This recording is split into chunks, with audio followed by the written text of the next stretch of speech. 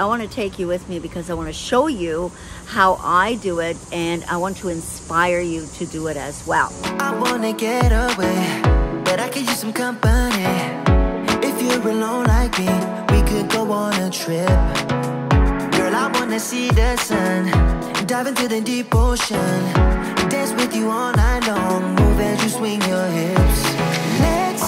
A break from the stress and the hate. Feel the loving, feel the rhythm, singing oh na na, oh na na. I wanna go where the birds fly low.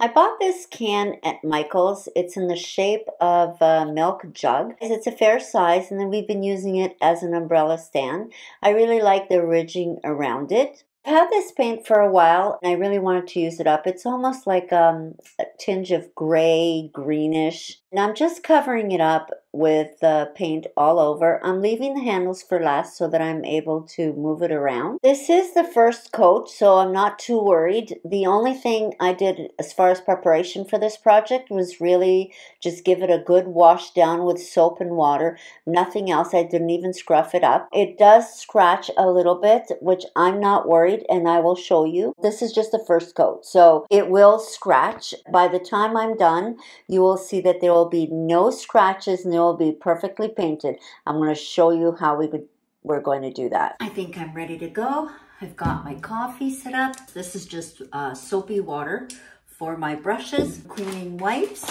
and now I'm going to be doing a little bit of checks because, hello, of course, this is a checkered channel. I'm just gonna try and do the squares without the tape because that's driving me nuts. First, let me have a sip of my coffee.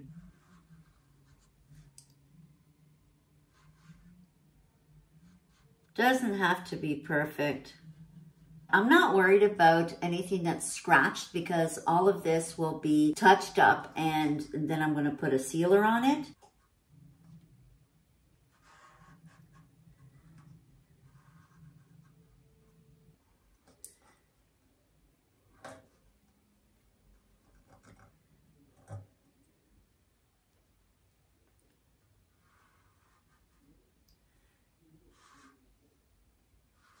A few squares. They're a little bit bigger than the others. I'm not gonna worry about it. At the end of the day, this is going to be to put umbrellas. And there you have it. That's how it looks so far. So I'm gonna touch it up. I'm not gonna worry about it too much. I did wanna put some stripes, but I'm not sure. Um, maybe I'll try one and see how that goes.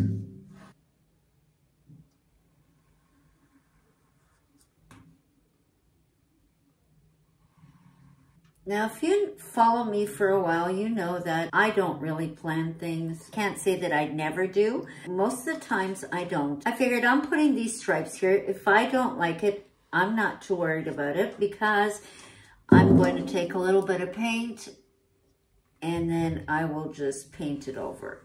So I'm going to put this away and then I'm going to go on to the next step. Now, right now you're looking at this and it may seem pretty plain. Not to worry, it's going to have a little bit more of a whoosh, if you will. Now, I normally do the squares white and black checkered. So I'm going to do the accents and I will come back and show you that. Got my trusted little whisk brush. I'm just going to dab it ever so gently and clean it off. Clean it off and then I'm going to just do this.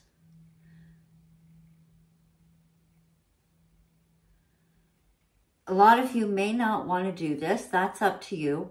I like it. This is the way I do mine. Sometimes I add a little bit more of the white. Sometimes I don't. No, it just kind of accents it a little bit. You know how I'm crazy check obsessed, but I'm not going to check everything in my life. That would probably drive my husband insane. I think though I need to do something with the handles. Now, you know when it comes to painting, it's all about layering. Now I'm going to add this little bit uh, solid gold from there. Oh, this is a gorgeous, um, I don't know, mustard almost. Oh, is it just me? Or do you like peeling this off? I don't know. I want it to be whiskey, like definitely not a perfect line. If this is your first time here, I have many, many videos where I've done furniture and it's quite different. To be perfectly honest, I actually like furniture projects um, a lot more than doing these little projects. It gives me more of a satisfaction. We all need a little bit of sunshine, right? This will give it a little bit of a yellow pop or a mustardy pop. I'm going to try the mustard on the handle and see how that comes out better. What do you think?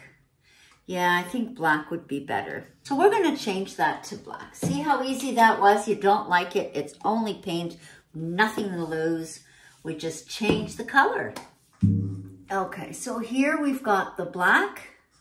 That's just one coat. And here we've got the mustard. I kind of like the black I'm gonna let this dry now. And I have this napkin from, of course, Mackenzie Childs, and I think it is so pretty, and I love this bird. I'm gonna trace him out, and I'm going to take it to the next step.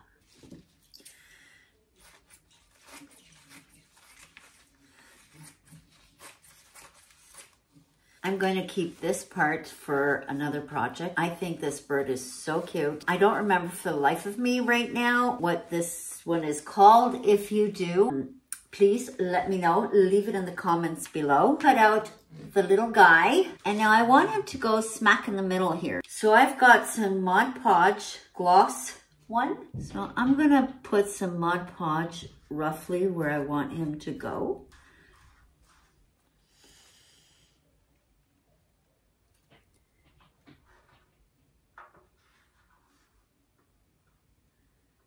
I'm just going to give another coat on top.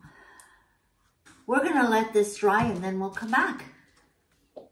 It's now the next day, so I'm gonna show you I seem to have lost the footage of what I did. But you did see me paint the whole thing in this lovely, lovely color. Do the squares and then just a little detail of white and a bit of gold. And then I showed you that uh, I got this from a napkin, the Mackenzie Childs napkin, and I uh, used Mod Podge. And then I gave it an, a coat of Mod Podge. Now, I didn't show you was that I did put a little trim here in black a little trim here in black just with a brush and a little trim here and down here. And then what I did was, again, I, you know, Mod Podged everything. Now, I do have this little ribbon here. Um, it's just, you know, teeny tiny squares and it's going to match his um, sort of this part down here.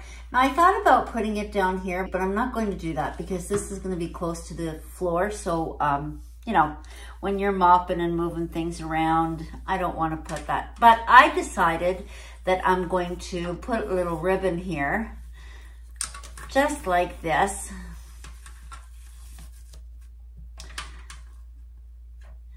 And voila, there's my umbrella stand and it cost me 10 bucks on sale. I actually got two of them, got them at Michael's when they were on sale. I'm quite happy with the way it turned out. Something simple, 10 bucks. So there's my project. Let me know what you think and I'm gonna show you what it looks like with the umbrellas.